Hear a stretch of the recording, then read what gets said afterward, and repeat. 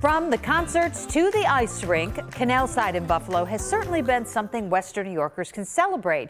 And now, a new addition that once stood in North Tonawanda during the 1920s has made its debut downtown. The historic carousel is fully restored now. It is good to go. And as 2 Side's Danielle Church reports, it had quite a ride getting here.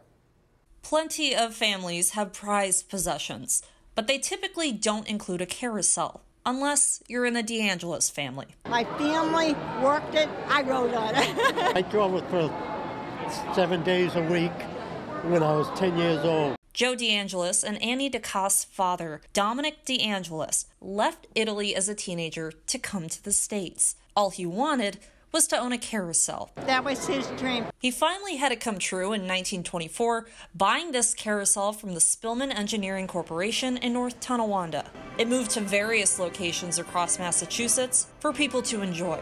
Eventually, the Great Depression hit, and Dominic couldn't afford the $69 to keep the land the carousel was on. You'll never believe where he moved it. It was stored underneath the house. All underneath the porch. We put them, put them Nobody up on skids. Knew it. It was later stored in Ohio, but decades later, it's finally home at Canalside. This is where it's supposed So- to be. The Buffalo Heritage Carousel acquired the ride from the DeAngelis family in 2016. They had artists completely restore it, installed a 153 Wurlitzer band organ, and by the way, the whole thing is solar powered.